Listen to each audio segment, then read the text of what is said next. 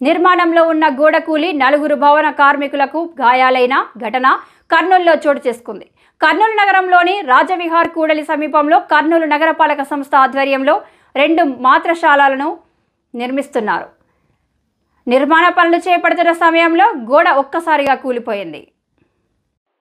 దీంతో అక్కడే పనిచేస్తున్న నలుగురు కార్మికులకు తీవ్రంగా గాయాలయ్యాయి. వారిని వెంటనే చికిత్స కోసం కర్నూలు ప్రభుత్వ ఆసుపత్రికి తరలించారు. నాసిరకంగా నిర్మించడంతోనే గోడ కూలిందని సిపిఎం కర్నూలు జిల్లా కార్యదర్శి గౌస్ దేశాయ్ తెలిపారు.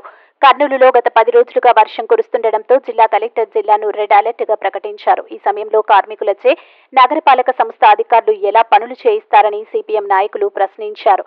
గాయాలైన వారిని ప్రభుత్వం ఆదుకోవాలని డిమాండ్ చేశారు.